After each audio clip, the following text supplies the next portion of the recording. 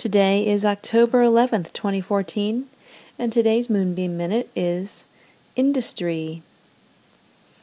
Before the Industrial Revolution, there was industry, and industry was something different than what we often first think of when we think of industry. When we think of industry now, or at least when I think of industry now, I think of factories, companies, machines, lots of people.